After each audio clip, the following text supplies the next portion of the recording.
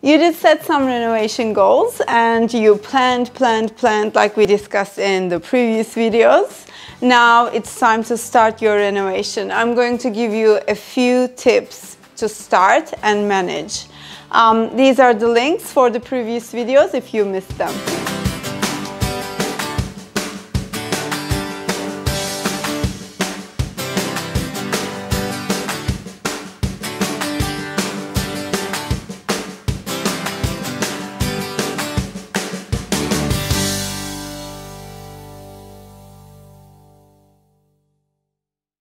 My first tip is really just start. Just start the renovation. Um, I can't blame this property, but that was the hardest thing for me. And if my friend didn't encourage me to start, I would postpone it as much as I could. Um, the previous renovation I've done, I had the same problem, even though it was, you know, just a basic cosmetic touch renovation for sale. Um, so, you know, just starting a big project or small project like that can take a while.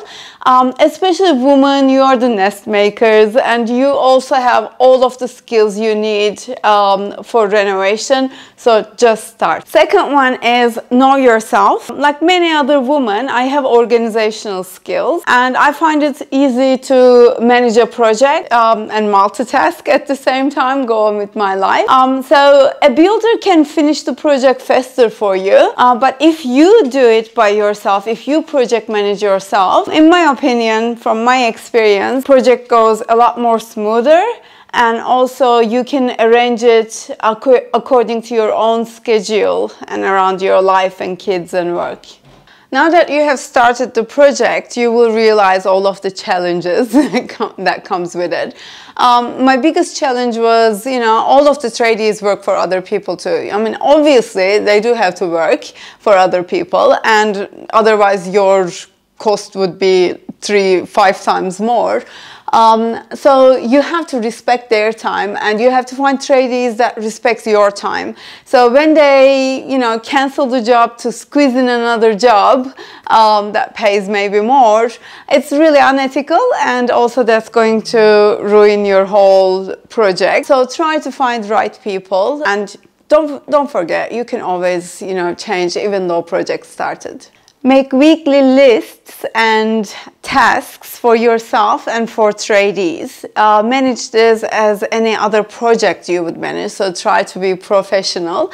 And this is going, if you can bundle the tradies tasks, together on one day. This is going to reduce your cost and also project is going to finish faster. Make sure you're all on the same page. Communication is key for any project management. So it's a good idea to talk to your tradies about what's coming up next, what are the tasks for ne next week, uh, what are the tasks for other tradies or um, any correspondence with your suppliers, any delivery issues you might have. Um, just make sure, and, and also your plans, just communicate everything. And don't assume that they're going to read your SMS messages.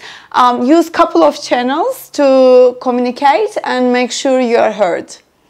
Be specific about your renovation details. Don't forget, design is in the details. And if you can't communicate them well, then there will be mistakes. So just make sure that you explain everything. Actually, you might think that you explained it very clearly. You might even think that, you know, oh, you drew the big picture of the renovation and everyone can see the final result like you do. But believe me, that didn't happen.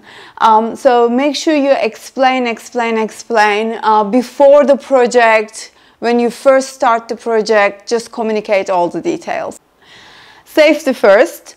Make sure you um, know all of the possible hazards. I know it's not possible, uh, but it, especially if this is your first renovation, uh, you may not be aware of some of the possible hazards. So um, good idea to get the um, build owners, builders, uh, you know, the certificate uh, required in Australia. Um, and also, when you create an environment, you know, caring environment for your tradies, tradies are also aware of, you know, health and safety issues for their own job, so they, they will be helpful. Plan details to avoid mistakes. Um, you know, everything I thought that tradies can make a mistake, they did make a mistake. And I can't emphasize the importance of, um, you know, just communication um, and just using many channels. Some of the mistakes we did manage to avoid through communication and careful planning. But it is important that you're available on the site because they might have some questions that you need to answer. And if you're not there, it's going to be, you know, they're going to call you once. And if you can't answer, that's it. You know, they have to finish the task and they have someone else's job they have to continue next day. So I work as lecturer and during the lecture hours I cannot answer my phone calls, obviously. And I remember getting many calls and mistakes happened as a result. Some we did and fixed it, some we couldn't fix. And if you can't fix, you will end up either living with that design you don't like for a very long time or it can be very costly to fix. Stand by your decisions. Make the decisions beforehand and stick with them. You can change your mind and it's okay, but have the answers ready for your tradies. And that's how you look confident. Check your budget. I know you hate hearing that and I emphasize this so many times. But you know, renovation can go really, really crazy. It can double the cost, triple the cost, and you won't even realize it if you don't check your budget. So now that you're paying everyone, um, again, regularly check your budget and stick with your budget. Don't sweat the small stuff. Um, there will be some issues, changes in the project, tradies can cancel the job, you may not get your delivery, or don't worry about you know, your kids not getting their daily nutrition. It's all okay. If you just you know, worry too much about all of that, you're going to burn out very soon. These are some of the top skills you will need to manage a renovation. First one is organized. Um, then be strategic, you know, see the big picture and also keep an eye on the final goal.